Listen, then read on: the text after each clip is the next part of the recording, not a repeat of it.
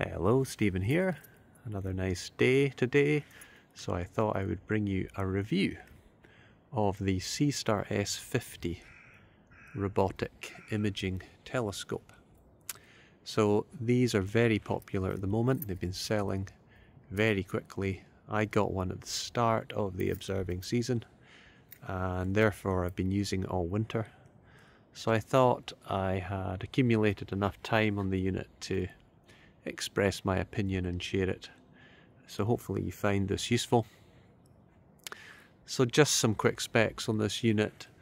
Um, it has a 50 millimeter objective aperture. It currently has a solar filter applied, uh, which is free, comes with the unit. Um, so in terms of live observing, 50 millimeters is not massive. It's like a typical binocular objective size. But you've got to remember that this unit, um, the kind of magic's in the software. It's gathering light in 10 second bundles and it's integrating. So when you take the integration and stacking, which is all automatic on this unit, uh, you've actually got an aperture which is significantly larger than that. But it's also worth saying that for views of the moon, a 50mm like this is decent. And in fact, this does deliver really nice images of the moon. Not as high a resolution as you're going to see through your backyard telescope, but pretty good. For planets, however, um, it's not going to deliver excellent views. So most planets in this will resolve as kind of disks with no detail. I had to really tune in um, the sort of light levels and the focus um, with Jupiter, and I could just make out uh, fairly poorly resolved bands. So it's not going to give you spectacular views of the planet. So just just remember that. Now, um, what does it come with? Well, this tripod doesn't come with a base package. This is my own heavy duty tripod and I like to get the unit up off the ground because the tripod it comes with is rather small. Uh, there it is there. That said, um, I actually think this is a really nice tripod. It's lightweight, you can deploy it really quickly and it fits in this nice case which also comes with a package. So as an overall package, um, it's really impressive.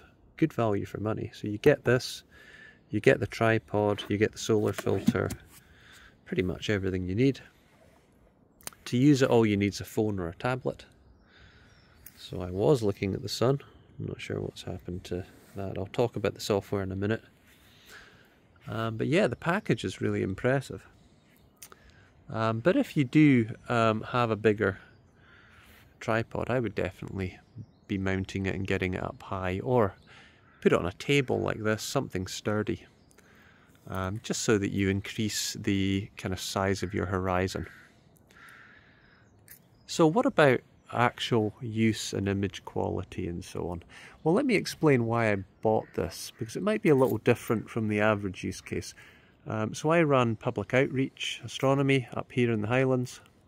Um, I do private tours and I also run events for the public up at Abriachan Forest. Initially I thought this would be a great piece of kit to deploy during the big Abriachan sessions where we might have, you know, 60 to 90 people. I thought we could be looking at galaxies and so on. And one issue arises here. The software on this unit is kind of slow, it's glitchy, and it crashes quite often. Now, I have an I kind of have an Android setup, um, so if you're on iOS, that might be different for you. But um, I've been a little bit disappointed with the software implementation. Um, it can be a little bit jangly.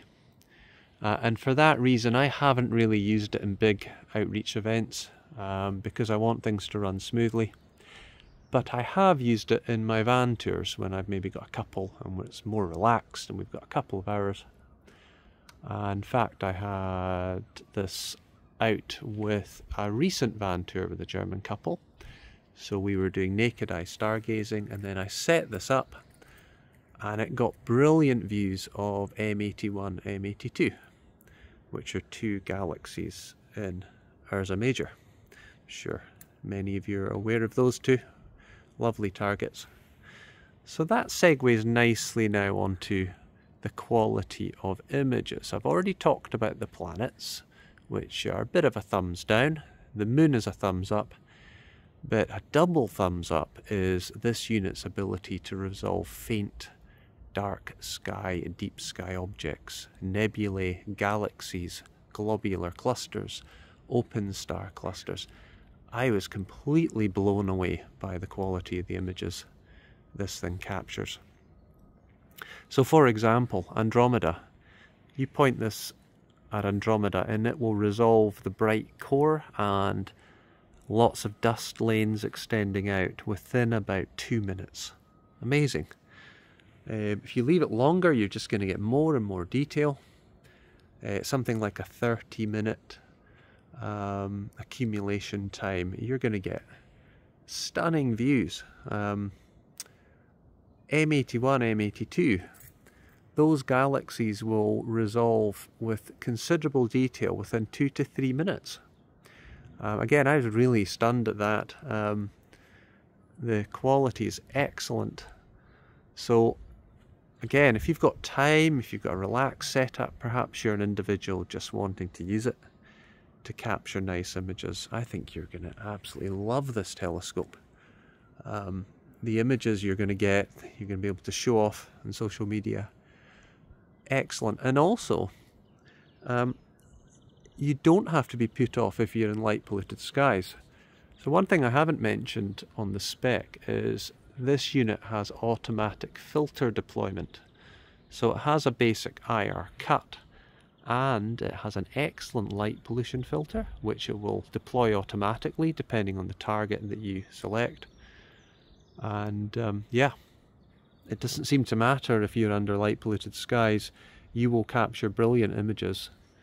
Um, I suppose taking it to a dark sky environment is just going to speed up your integration times. You're going to get better images quicker and probably a bit more contrast but yeah urbanites uh, do not be dissuaded from buying this unit it's excellent and it's going to save you potentially hundreds or thousands of pounds um, in equipment if you're just wanting to capture, you know, decent images. Uh, in no way am I suggesting that this is going to trump dedicated setups. And I'm not really an astrophotographer, so I'm not going to go near that debate. But for just, you know, semi-live viewing and you know reasonable images over short time scales you're going to really enjoy using this telescope.